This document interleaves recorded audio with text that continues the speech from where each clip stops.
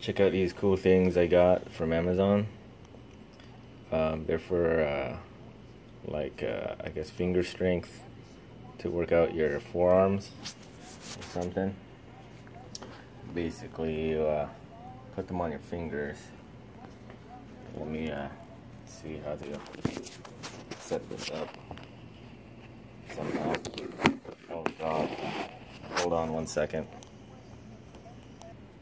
So there you go. You put them on your fingers, and you like stretch them out. You, like hold for 30 seconds like this, and then you slowly bring it in, bring it out. I'm gonna try to. Uh, this is like the weakest right here. it's medium, and this is like heavy. I'm gonna try to uh,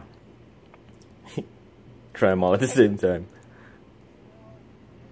All right. Uh, now I got them all, all of them on my fingers.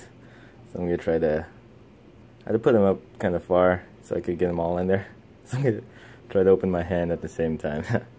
or my fingers. Okay, let's try it out.